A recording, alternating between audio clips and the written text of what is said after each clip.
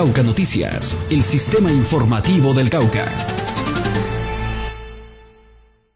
Secretario, una importante eh, entrega se hace hoy en materia de salud, un espaldarazo del alto comisionado para la paz, eh, centros de salud en Timbiquí, en el norte, en el oriente, importantes proyectos.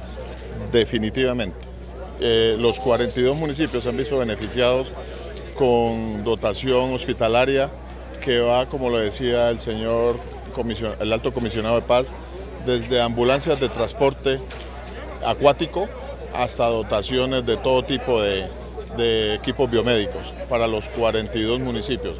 Es un avance importante porque además de mejorar la, calidad en la prestación de los servicios, también un punto de vista que, desde el punto de vista administrativo impacta es el aporte económico a los gerentes de las empresas sociales del Estado que no van a tener que incurrir en el gasto de estos equipos y pueden brindar con ese recurso una mejor atención, una mejor cobertura de los servicios de salud.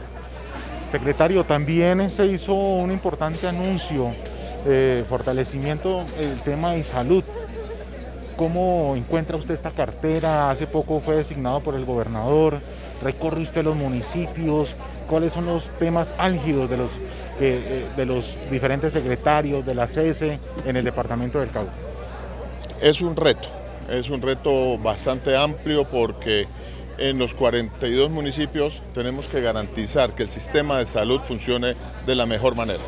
Tenemos un sistema de salud que, del cual yo soy muy defensor porque creo que es un muy buen sistema de salud que de pronto los actores lo desdibujamos desde la orilla que estamos pero el reto es que funcione bien nuestro sistema de salud en la prestación de servicios que está a cargo de las IPS públicas, de las IPS privadas, que funcione bien el aseguramiento.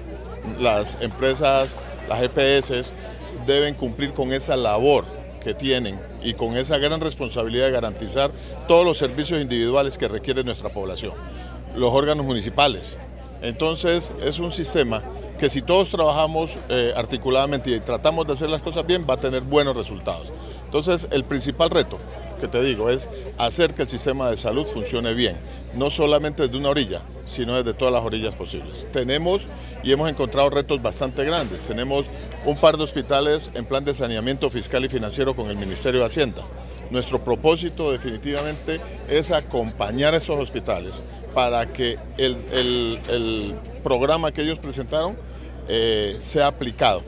Y, si no, acompañarlos ante la instancia que sea necesaria, pero el, objetivo final es devolver la sostenibilidad financiera de estos dos hospitales, de estas dos entidades y al resto de hospitales eh, mediante un documento de red que debemos trabajar muy fuerte con el Ministerio de Salud, establezca de una vez por todas cuál es el rol, cuáles son las competencias de nuestra red de prestadores de servicios de salud. Creo que esos son los dos retos iniciales, plan de saneamiento fiscal y financiero exitoso, documento de red y que nuestro sistema de salud funcione mejor en cada uno de los municipios. Secretario, ¿cómo avanza el plan de vacunación en el Cauca con esta nueva eh, cepa, el Omicron? Cómo se está llegando a las poblaciones, hay suficientes biológicos, la meta se está cumpliendo.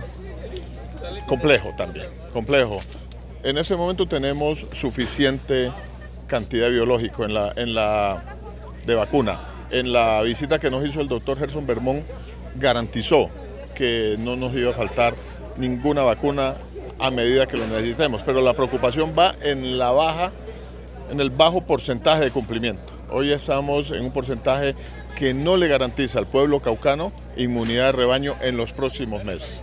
Debemos trabajar todos porque la vacunación no es solamente del sector salud, es, es una suma de, de esfuerzos, alcaldías, secretarías, EPS, IPS, la población debe acudir, porque la única barrera, tú que me nombras el Omicron, y, y que aún no está definitivamente eh, definido que va a cambiar la condición de la pandemia. Estamos en estudios previos, estamos esperando información a nivel nacional, estamos inclusive haciéndole seguimiento a viajeros que han llegado a nuestro departamento de África, pero no podemos alarmarnos y darle la tranquilidad a todo el pueblo caucano que las vacunas que tenemos hoy son suficientes y no hay nada que demuestre hasta el momento que no van a protegernos de esta nueva variante ni de las que han ido emergiendo con el paso del tiempo.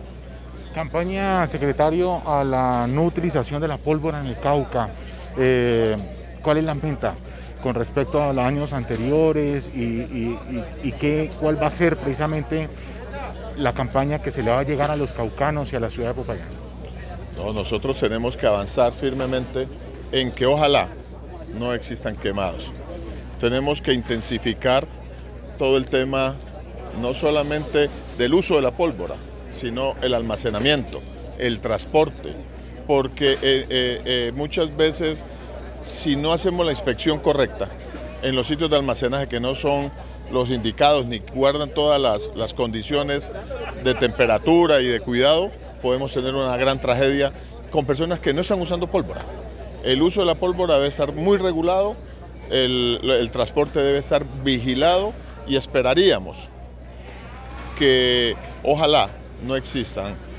Ya en la Secretaría de Gobierno, nuestra Secretaría ha sacado lineamientos para en caso de que se presente un accidente de este tipo, sean los canales de reporte y de intervención inmediata. Cauca Noticias, el sistema informativo del Cauca.